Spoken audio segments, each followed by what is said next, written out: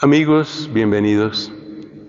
Este es nuestro programa institucional Honestamente, que significa en latín con mente honesta. Programa número 77, soy Fray Nelson Medina. Hoy vamos a hablar sobre dos palabras que están relacionadas pero son distintas y tienen mucho que ver con lo que estamos viendo hoy en el mundo. Una es la palabra incoherencia y otra es la palabra hipocresía. Y ya vamos a ver por qué resultamos hablando de estas dos palabras. Pero primero necesitamos entender la diferencia entre estas dos. Porque toda hipocresía es una incoherencia, pero no toda incoherencia moral es una hipocresía. Vamos a entender por qué. Supongamos una persona, un médico, que le enseña a sus pacientes la necesidad de alimentarse bien. Este médico les dice, mire, no podemos eh, comer tantas grasas saturadas, eh, no podemos consumir tantos carbohidratos, cuidado con el exceso de azúcares, bueno, todos esos consejos que yo creo que todos los hemos oído alguna vez. El médico les habla de todas esas cosas, pero un día uno de los pacientes se encuentra a su médico, el que da todos esos consejos, se lo encuentra en un restaurante y el médico ha pedido la banana split más impresionante del mundo, que tiene 4.500 calorías y bueno, una barbaridad. Claramente el médico está siendo incoherente porque enseña una cosa y practica otra cosa. Eso es ser incoherente. Entonces el paciente saluda al médico, el médico se da cuenta de quién es el que lo está saludando y el médico se avergüenza, se sonroja y dice, bueno, pues ya ves, caí en la tentación, yo sé que esto no se debe hacer, pero, pero caí. Ese médico está siendo incoherente. Pregunta, ¿está siendo hipócrita? No, no está siendo hipócrita, porque él mismo es consciente de su error. Él, lo mismo que todos nosotros, tiene sus batallas y una de sus batallas parece que es con el tema de la comida. Ese es un caso de una persona que es incoherente, pero que no es hipócrita. ¿En qué consiste en cambio la hipocresía? La hipocresía consiste en el momento en el que empezamos a justificar, seguramente con un público diferente, o en un ambiente diferente, o en un círculo diferente, empezamos a justificar nuestros errores, nuestros pecados, nuestras incoherencias.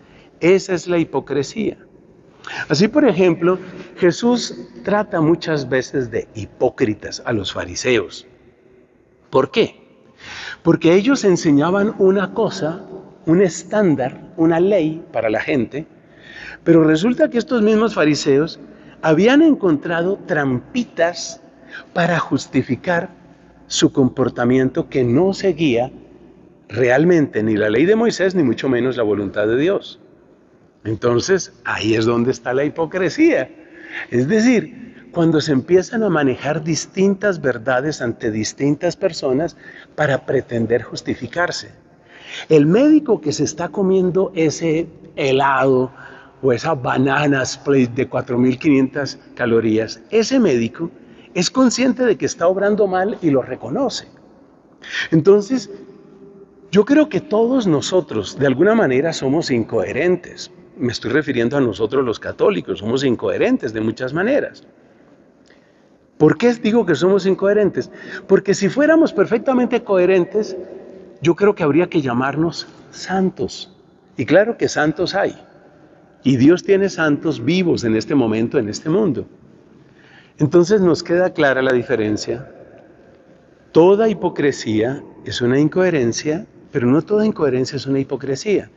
Porque si yo en medio de mi incoherencia reconozco que estoy obrando mal y reconozco con sinceridad que debo cambiar y que debo poner más de mi parte, eso no es hipocresía. La persona que llega a un confesionario y le dice al sacerdote, otra vez caí, esa persona no está siendo hipócrita. Esa persona está sufriendo por su incoherencia, pero no está siendo hipócrita. Bueno, con eso ya perfectamente claro, pasemos a algunos casos en los que estas palabras, incoherencia e hipocresía, tienen mucho que decirnos. Pensemos, por ejemplo, en toda esta discusión que hay ahora por el Mundial de Fútbol, el Mundial de la FIFA, en Qatar. Para muchas personas habría que boicotear, habría que sabotear el Mundial de Fútbol. Y las razones que se dan son más o menos estas, que en la construcción de las mismas sedes para este Mundial de Fútbol, esos tremendos y sofisticados estadios con la última tecnología, en esa construcción ha habido una explotación laboral brutal. Y por consiguiente, participar en ese Mundial de Fútbol de alguna manera es cohonestar, es estar de acuerdo con esa eh, explotación que según parece llegó hasta el extremo de causarle la muerte a una cantidad de gente. También se critica a Qatar porque se dice que su estándar de derechos humanos es desastroso, no solo por el tema de los trabajadores, sino también por la manera como se trata a la mujer. Ya ustedes saben las múltiples disposiciones que tiene el Islam con respecto a la mujer y muchos occidentales miran toda esa legislación del Islam como una especie de desprecio hacia la mujer, una discriminación claramente negativa hacia la mujer. Además, y esto es lo más curioso, lo que más bulla ha hecho en los medios de comunicación es el tema de la llamada comunidad, a eso le pongo yo unas comillas, LGBT. Entonces la idea que tiene mucha gente es, como los derechos LGBT no son respetados en Qatar, hay que protestar, hay que boicotear. Lo mínimo que hay que hacer es ponerse una especie de banda ahí. Eh, les estaban sugiriendo a los jugadores que llevaran una banda aquí con los colores típicos, esa especie de cuasi arcoíris que utilizan los que impulsan el movimiento LGBT, ponerse una especie de banda de esas, como quien dice, ustedes en Qatar discriminan y maltratan a la población LGBT, pero nosotros los jugadores de fútbol, los, los mejores jugadores de fútbol de todo el mundo, estamos aquí para decirles que apoyamos el movimiento LGBT. Y es curioso porque, que yo sepa, nadie ha propuesto que se pongan una banda de esas eh, para, por el tema feminista o por otros temas, sino que parece que lo más importante y como quien dice, lo más terrible, lo más grave que está sucediendo en Qatar es que se están irrespetando los derechos de las personas LGBT. Eso es lo que nos dicen. Bueno, yo tengo varias observaciones que hacer al respecto. Por ejemplo, a ver, se está criticando que no se respetan los derechos humanos en Qatar. Por supuesto, yo no estoy de acuerdo con la manera como el Islam trata a la mujer. Y por supuesto, yo no estoy de acuerdo, y aquí levanto mi voz, en contra de cualquier explotación laboral, que no es una novedad en Qatar. Eso sucede en muchos otros sitios del mundo islámico y del mundo comunista y del mundo chino y en muchas otras partes. Yo no estoy de acuerdo con eso. En cuanto al tema LGBT y en cuanto al tema ideología de género, bueno, ya, ya, ya eso lo podemos conversar en otra ocasión. Ciertamente yo no estoy de acuerdo con el tipo de escándalo y con el tipo de aspaviento que se está haciendo ahí. Pero por lo menos en el caso de la mujer y en el caso de la explotación laboral, yo estoy de acuerdo con que el récord que tiene Qatar en cuanto a derechos humanos deja muchísimo que desear. Pero ahora yo digo, espérate, no estaremos cayendo en hipocresía. Acuérdate la diferencia entre incoherencia e hipocresía. Nos preocupan muchísimo, y está bien que nos preocupen, los cientos o incluso miles de trabajadores que han sido explotados en Qatar y que están siendo explotados en Qatar. Nos preocupa muchísimo eso. Ok, ok, nos preocupa muchísimo eso. Está bien, te lo entiendo. Pero, ¿y qué pasa con los derechos humanos en nuestros países? ¿Qué pasa con los derechos humanos cuando la misma organización de las Naciones Unidas, la ONU, por todas partes intenta presionar para que se considere al aborto un derecho humano Es decir, si hay una contradicción en esta tierra es exactamente esa frase que acabo de decir, considerar al aborto un derecho humano. Aún suponiendo que esa fuera una especie de derecho de la mujer, ¿dónde queda el derecho del niño que no ha nacido? ¿Dónde queda? ¿Cuál es el derecho humano de ese niño? Entonces, se habla de unos miles de trabajadores y está bien que se pelee por esos trabajadores en Qatar. Por favor, alguien tiene una palabra para los cientos de miles, para los millones de niños que son abortados en todo este mundo occidental, de donde vienen estos equipos de fútbol que consideran que lo más importante es protestar y boicotear a Qatar. ¿No es eso hipocresía? ¿No es eso una terrible hipocresía? ¿Una salvaje hipocresía? Porque se supone que lo que nos escandaliza es el tema de derechos humanos, o mejor dicho, lo que escandaliza a esas personas. ¿Y por qué no hay escándalo por otras cosas? No es el único ejemplo de terribles hipocresías, y utilizo la palabra con plena conciencia, de terribles hipocresías que se presentan con respecto al movimiento feminista. Aquí en mi ciudad, en Bogotá, grandes protestas por un maltrato contra una mujer. Está bien que eso se haga. ¿Por qué no hacemos grandes protestas por maltratos con respecto a hombres, a niños, a ancianos? ¿Por qué tenemos un estándar para unas personas y otro estándar para otras personas? ¿Por qué? ¿Eso no es hipocresía?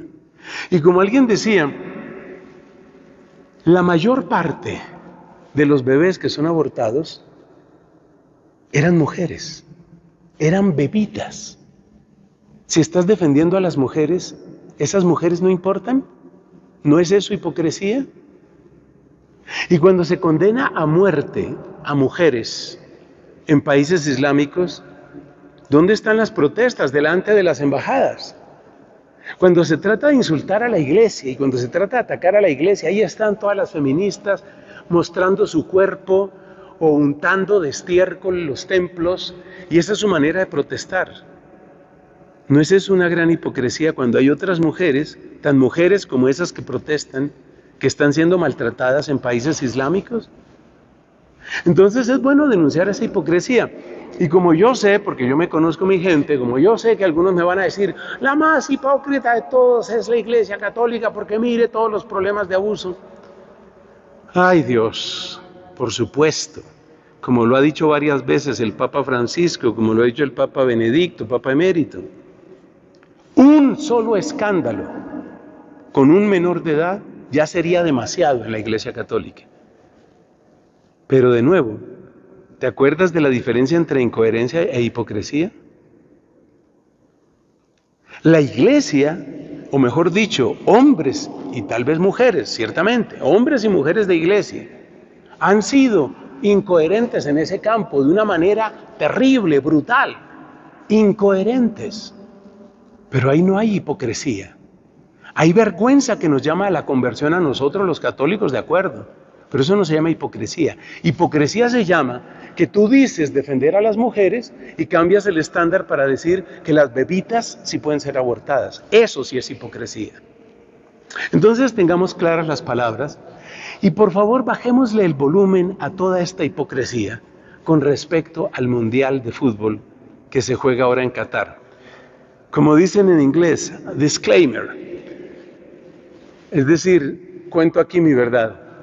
Yo personalmente soy muy poco fanático del fútbol. Si me preguntas, no he visto y no sé si voy a ver uno solo de los partidos. Hace bastante tiempo que no veo ni en persona, ni en televisión, ni en internet un partido completo de fútbol. Mi tema no es el fútbol. Respeto la afición que cada uno tenga. No, no se trata de defender al fútbol, no se trata de defender a Qatar. Se trata de organizar honestamente nuestra cabeza y entender qué es lo que está sucediendo para no ser simples rebaños de los que dice la Biblia. Son un rebaño para el abismo, la muerte es su pastor y bajan derechos a la tumba. Así que por favor, cada uno, a luchar en contra de su incoherencia, yo tengo que luchar con la mía, tú tienes que luchar con la tuya, pero desterremos la hipocresía de nuestras vidas, de nuestro lenguaje y de las redes sociales. Esa es la invitación en este programa y que Dios bendiga a todos.